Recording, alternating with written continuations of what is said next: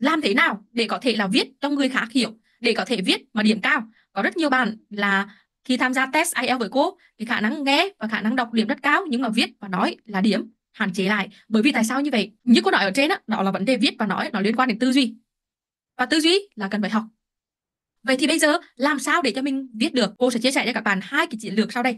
Cái chiến lược thứ nhất đó là cái chiến lược về viết học thuật và chiến lược thứ hai đó là chiến lược viết ở trong đời sống về chiến lược viết học thuật như thế nào? Viết học thuật thì các bạn phải đi theo cái gì? Một cái bài như vậy nó chia làm hai cái đoàn ba đoàn bốn đoàn năm đoàn đúng không? Mỗi cái đoàn như vậy á, nó có một ý chính là một câu topic sentence. Làm câu mở đầu. Sau cái câu topic sentence này á nó là sẽ là một câu trả lời cho cái what. Khi bạn nói ra cái argument cái ý của mình cái đại ý của mình tôi muốn là gì? Có hay không? Cái ý của tôi là chính xác nó như thế nào? Thì bạn trả lời được cho một câu đó là what. Có nghĩa là nó là cái gì?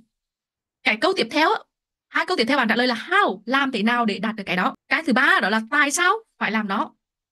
Cái thứ tư đó là ví dụ thực tế là như thế nào? Hay nói cách khác đó là what why how và ví dụ.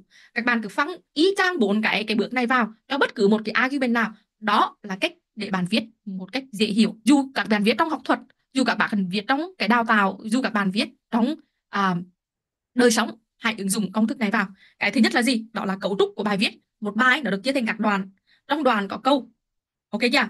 Cái chiến lược thứ hai á trong đoàn như vậy á ngoài câu topic sentence ra topic sentence là cái câu mà câu gọi là câu mở bài á là câu mà bao quát cả cái đoàn đó nói về cái gì á thì các bạn trả lời tiếp cho cô đó là what, why, how, ví dụ chấm hết.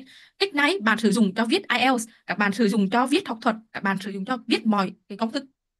Nói y chang một điều giống nhau. Đó là cái chiến lược thứ năm cô hướng dẫn cho các bạn cách để viết mạch lạc và dễ hiểu. Cái phương pháp rất đơn giản, ai cũng có thể làm được.